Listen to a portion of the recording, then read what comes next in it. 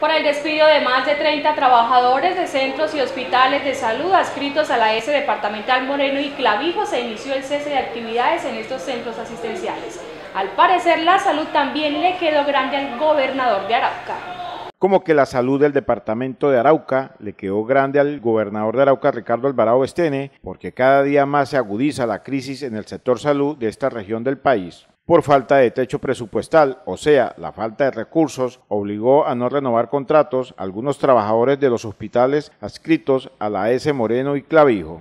Es así que por la no renovación de estos contratos se quedaron más de 30 funcionarios sin trabajo en los hospitales de Tame, Fortul, Arauquita, Cravo Norte y Puerto Rondón. Los funcionarios de estos hospitales protestan en el día de hoy en los diferentes centros asistenciales. En las sesiones extraordinarias de la Asamblea Departamental en el mes de septiembre se aprobaron unos recursos o sea, créditos y contracréditos por casi 5 mil millones de pesos para el sector salud del departamento de Arauca. Estos recursos que son manejados por la Unidad Administrativa Especial de Salud de Arauca aún no han sido girados a la S. Moreno y Clavijo y tampoco al Hospital San Vicente de Arauca y al Hospital del Sarare. ¿Qué pasó? ¿Por qué no han girado? ¿Qué pasaría con algunos diputados que le iban a hacer seguimiento? Estas son las preguntas que la mayoría de los trabajadores y de los ciudadanos del departamento de Arauca se hacen.